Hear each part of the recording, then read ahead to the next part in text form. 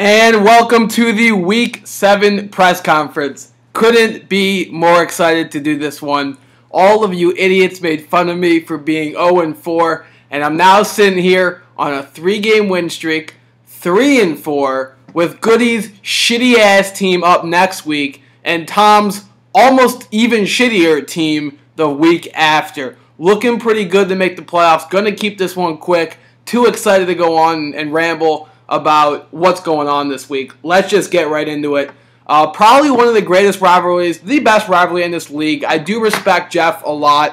Uh, I have a lot of good things to say, but you saw it there. I killed him last year. I killed him this year. Jim, you want to talk about a murder tour? Take some notes from this guy, because that's all I do. I mean, I, I, don't even know what to say. My boys just get so excited to play Jeff. This wouldn't even be a game if his defense didn't put up 30 points. That's like 27% of his overall scoring. Without fucking St. Louis, this was a whitewash all over Jeff. You do have a good team, but I mean, next time you guys play me, just just take the zero, as you would say. It just doesn't work out well for you. Let's look at my team here. I knew Jarvis Landry was going to break out eventually. Guy's a stud. Had him drafted since day one. It was only a matter of time. Great managers make great moves. Don't know how many weeks I need to say this to you guys, but Stefon Diggs, probably other than Gurley, the second place running for Rookie of the Year on my team, of course. What's new? And this team is a new, revamped team for hopefully the rest of the season. I don't even care if I'll make the playoffs at this point. Climbing out of an 0 4 hole, getting rid of my top three draft picks, and ending up with what I have now is, is impressive.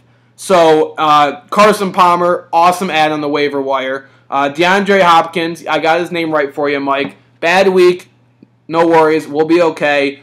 Todd Gurley, again, great managers make great moves. Had him drafted since day one. Knew he was going to be a stud, and, and, that's really all I have to say on that. Um, I'm not gonna lie. Um, I know Bez doesn't like to admit it, but when I'm on a rattled meter, I say it. I'm a little bit rattled about Joseph Randle. Not really sure what's going on with the Cowboys situation there, uh, but hopefully we'll, we'll figure it out. We got Justin next week, so to be honest with you, I'm, I'm assuming that's a win. If it's not, it's gonna be really embarrassing. I deserve a lot of shit, but there's a good chance I'm gonna be four and four. Uh, looking at other matchups, trying to keep this quick. I'm at three minutes, and I know all you guys are bitching. Uh, at least Mark is. Good for Mike. You know what? We uh, we shit on you hard, and you still have a shitty team but you deserve to win this week. Glad you got it. Petrie has a good team, but uh, just the way he runs his team is idiotic. And offering trades, then when you tell him you accept it, he declines. Pretty weird. Deserves to lose every game out for that reason. Mark, your team's sick. Um, let's not even trash talk you there. Only thing I would say is you have great running backs, but I would be at least a five or a six on the Lacy worried scale, if not more at this point. Uh, so the fact that you might be lying about that is, is good for you. But Chris Johnson, great pickup. Knew he was going to be good. I could have told, I did tell you guys that. Uh, but that's all right. I'll let you guys have him. They don't call me the people's owner for nothing. Jamie, three and four. Hopefully getting a little bit nervous, but you do have a good team. Uh, the Murder Tour. This game's still going on. We got about seven minutes left. Not really sure what's going to happen. This is a great matchup. Tom, your team is not good. The entire league knows it. Um, this defense is bullshit, and hopefully uh, I'll I'll do what Jim failed to do most likely in a few weeks to you. So hang on tight there, and I'm coming for you. But I mean, Jeff, I don't even know what to tell you. Good team, but when you play me, my guys just get pumped up. Something about the coaching that coaching in that uh, locker room over there is just not working for you.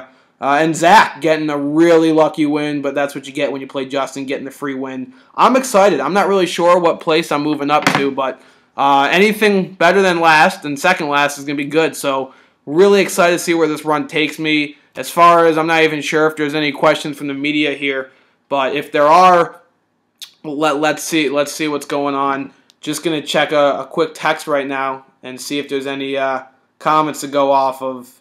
Jim, you know I'm actually rooting for you in this game here. Not sure what's gonna happen. It's not looking good for Baltimore, but you never know. Again, so excited to be sitting here at three and four. The people's owner. This is they don't call me the people's owner for nothing. I let you guys have some wins. I let you have your fun. Think that I'm an idiot. I don't know what I'm doing. Again, I know I've never won a championship, but I'm still one of the best consistent managers there is in this league, and I'm proving it this season. Uh, I think making a playoff appearance would be a win in my books. That's a championship on account for I started 0 4. My first pick got injured for the season. My second pick was the biggest bust ever in the history of fantasy football. And my third pick, it shouldn't have been the third pick, and I got rid of him and got great value for it. Excited to take on Justin's team next week. That's all I got. Going to cap it before six minutes. And looking forward to the other press conferences.